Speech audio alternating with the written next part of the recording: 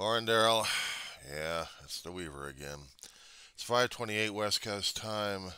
It's 25 degrees out here in the Antelope Valley. It's Saturday the 6th of January 2024. I'm confused.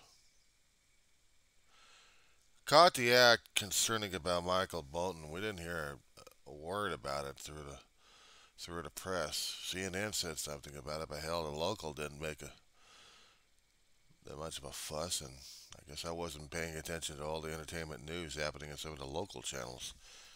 There's a guy named Michael Rubin. Uh, I, am sorry, I'm sorry, Sam Rubin on uh, KTLA. Well known throughout the entertainment industry. I didn't keep up with him on how uh, how things are going with him. With Mr. Bolton and his uh, with his head issue. Cancer sucks. Uh, see, this is what confuses me at this point over here. It's the um, story and the conflicting emotions regarding the cancer situation. See, I don't, I don't get it. Maybe I don't have a context or perspective on this one. So I've been trying to go over the information, and I went over few articles that you did post that say the same thing. That you know he had cancer, and he had it taken care of, and he's recovering, and he wants to get out there on the road. He wants to perform because that's what he wants to do. Okay, I can understand that. That's a performer. That's that's an artist who wants you know wants to keep uh, continuing to get at it. And you raise up the issue concerning about your father, and God rest his soul. I'm sorry that he uh, passed away from the cancer.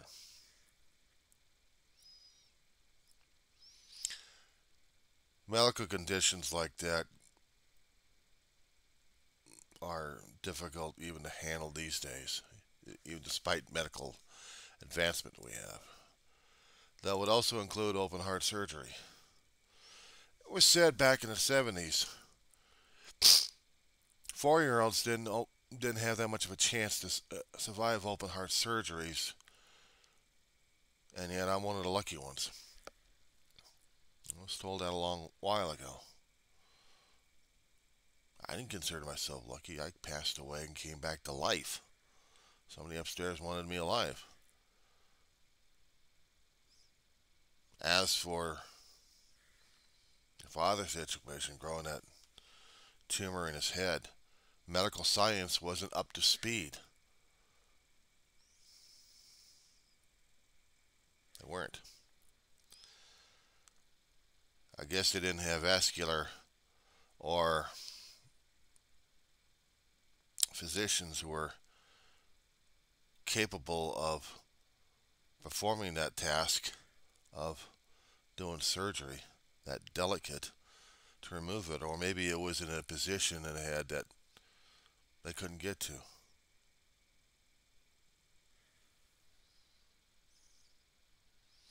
They would make a science fiction movie fantastic voyage of miniaturizing people with advanced technology to get rid of a tumor from the inside. Kids would think about that one because it was just a movie. But the reality of it was, we just didn't have the medical or the scientific know how, at least not that much, to do that kind of delicate surgery without severely injuring the person.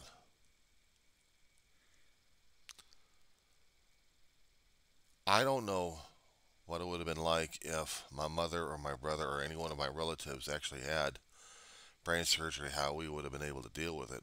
I know that dealing with heart issues was a major factor in my family. I had to worry about my grandmother all the time. We had to worry about Aunt May And during those days, she was a very frail woman. Dealing with the loss of her husband wasn't exactly helping this this lady uh, through her situation. What scares me is next few years I'm going to be in her situation. But I'm not old and frail. I'm just getting older and fatter. Or trying not to be anyway. I'm sorry that your father wasn't lucky. It looked like he was a good guy, a decent guy.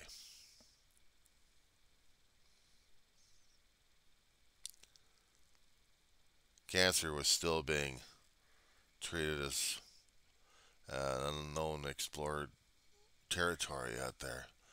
If they could see it, they could try removing the thing, but there are certain areas that they didn't try to touch because of complications. I don't know how to ask or suggest how to resolve the. You said indignant? You said the word indignant on this one. I guess there's still feelings out there that even we haven't found a way to get resolved. Adult wise, we could figure it out, but the kid inside of us still has no option and no clue of how to figure it out. Probably wondered how come these things happened. And if they did, why? Why did it happen? Why did your father have brain cancer and why couldn't they do something about it to get rid of it? And why they made the remarks? Well, they're they made the remarks because they were indifferent. Perhaps they didn't take people's emotions too kindly at that point. And yeah, it was off base of what they said. I'm not going to defend it. But to think of him as a damn vegetable and watch him weaving things left and right, or trying to see whether or not if his brain was still working one way or another. Maybe it was not exactly therapy, but just try to see what kind of brain activity that they had. They couldn't do that for a heart situation. I mean, if you had a heart situation, you you don't do things like that. Back in the 70s, they, I guess they were very indifferent to patients' well-being mentally. Well, they worry about the physical, but they wouldn't talk to you talk to the families about the mental health portion of it. I can attest for that one. I'm a bad I'm a kid with a bad ticker. I had a bad ticker. I keep showing the people my scar. And believe me, I had a big ass honking scar when I was a kid. Kind of made me feel different, you know? Kind of made me feel weird. I'm a kid that survived heart surgery. These days, it's commonplace. They can do invasive surgery, little tiny slits sometimes, or maybe, uh, maybe something else, just to get something repaired. Or maybe they still do open heart surgery, but the technology is a hell of a lot easier to deal with. And the recovery time may be a little faster, or maybe not. I don't know. I haven't kept up with the latest heart surgeries out there to see what kind of techniques that they're using. But looking at my own damn scars fading out, I still have the mental scars dealing. And yeah, I, even I got stigmatized. I'm the kid with the bad tick. I mean, how would you like to deal with a mother that uh, identified her kids as nut job or the bad ticker? Which one? Oh, Marianne, how are your kids doing? Which one? The nut job or the bad ticker? And it would piss them off. It's like, you you said that? Yeah, she would say that. She would say she had said that too many times to a lot of people. I'm growing up and I'm hearing stories, but I'm also hearing it out of her mouth. Some of our friends are like, eh, eh, eh, eh, they don't even know how the hell to, to deal with it. How to deal with a lady who's got a who's got issues that they're like, they got what? It's like saying, why don't they have leprosy?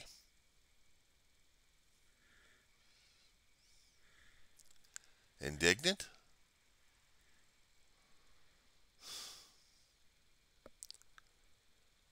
I guess so. I mean, the nonchalant attitude of dealing with someone who's got brain cancer that they can't deal with, so now they can just insult the crap out of them. Is that the only way that you know how to to give aid and comfort to family who has an inflicted? Yeah, that's it, inflicted. It's not infected.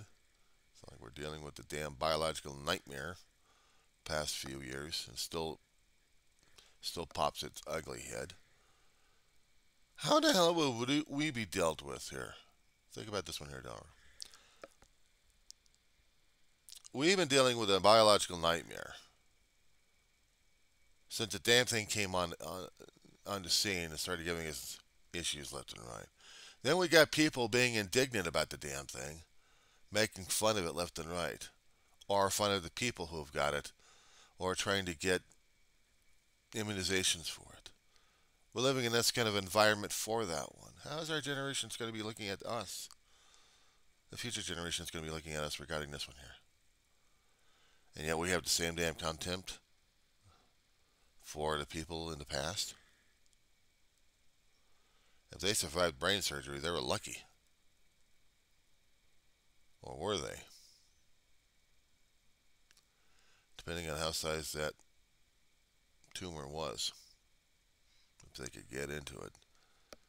But they didn't have the technology, they didn't have the techniques, they didn't have what they have to take care of it. At least to, to my knowledge, anyway. And yeah, it would be improper for them to say something stupid about it. It's like saying to you, upfront personal and just be callous about it. And say, well, let's say something stupid about it, Aaron. No offense. Your father had a basketball on his head, or he had a basketball for his head because of that cancer? Ha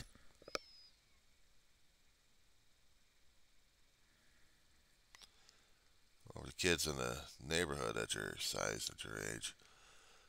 How's your old man? How's he go- his head going to pop? Back then, kids were cruel. How about this one?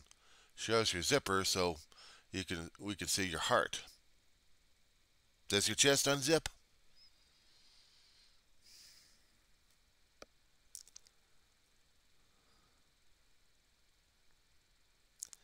I had to deal with that shit on a constant basis sometimes. I had to take it easy because of my damn heart. And yeah, I had to deal with kids my own damn age being stupid like they are. They think it's a fucking joke. They thought it was a damn joke. If they knew the life I lived during those days, shit.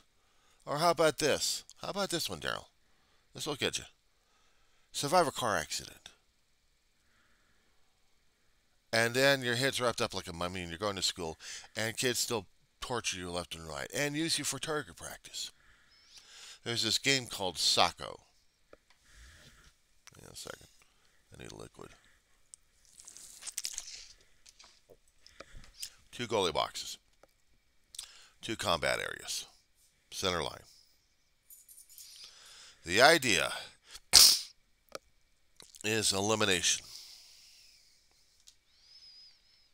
If You get the ball, you're holding onto the ball, and you're not knocked against on your ass. It's a hard, well, it's a rubbery ball. It's inflatable, but hard rubber of sorts. And it leaves marks on you. I had to constantly do this to my face because the kids constantly aimed for my face. And they would choose up sides. I'm the last. Not because of la- because of my well, because of injury, no. Because I'm white. I'm dealing with I'm dealing with blacks, I'm dealing with Latina. That was the neighborhood. I moved from one particular area that didn't have this damn game into another neighborhood which had this damn game on the elementary side. And I'm coming in with injuries. Open heart surgery, still recovering from that damn thing. Takes years. But also facial injury because I just survived a car accident. Kids can be cruel.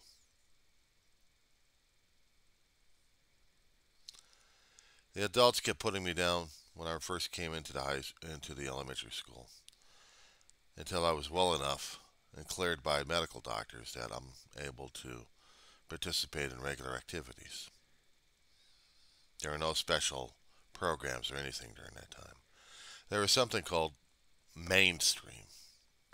Kids with mental or actually mostly physical ailments trying to get back in to the mainstream of everybody else trying to learn things. We take it slowly. We get your help if you need it. If you're having problems catching up, you need uh, coaching of any sort, they'll help you out. But certain programs didn't happen when I was a kid. Except when I turned into a teenager, and then they had a mainstream program out there to help me out. Didn't help me out in Arleta. I, used, I had to be on my own.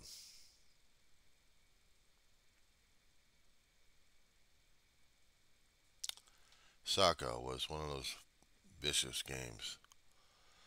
I was always having black and blue all over the place. I protect my face. Screw the damn chest. Protect the damn face. When I got into that car accident with my brother, oh, I did videos about this one a long time ago. buried in a wind file somewhere.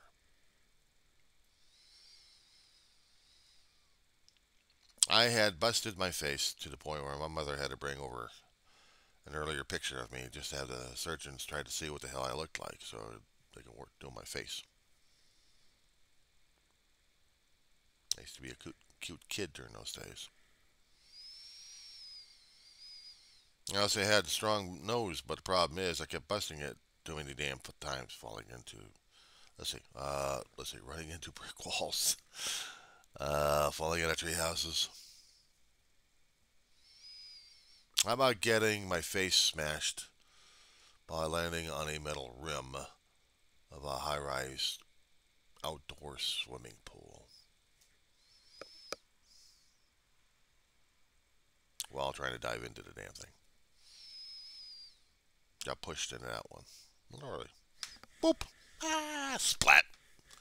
Turned the water red. So I go into a neighborhood and they go into a school where physical violence, not just, well, they discouraged strongly about kids getting into fights, but you know, it happened anyway. But for me, I'm white. One of the rare ones out there was white. Was white. Racial. And since I came in with injuries, open season. Let's make a bleed. Put him in the game of Sacco. Tetherball would have been easier to deal with. Maybe. At least that would have been something to deal with. Punch yourself in on that damn thing while trying to keep that ball going up the up the pipeline there. But Sacco? Oh no no no no no no. There's one guy named Hector. Or was it Gilbert? One of those two names. What an asshole kid. Always made fun of me. Kids can be vicious and cruel.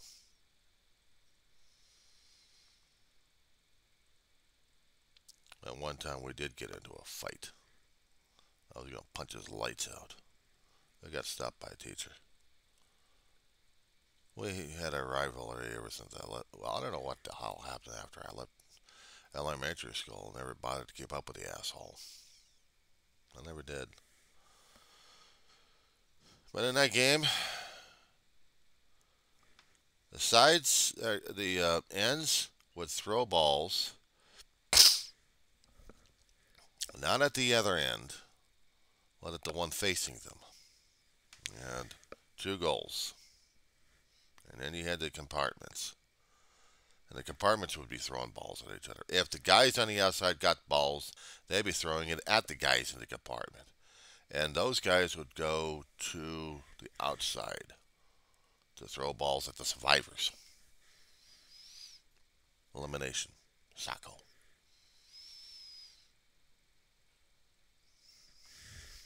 Yeah, tell me about it. There's a thing about us old farts here, dude. We got memories, we got stories. And right now, my mother had been waiting to go outside, and she fell like asleep on the couch, covered up, because it's still 25 degrees outside, which is quite uh, freezing for us out here on the West Coast. Uh, let me do a part two on this one.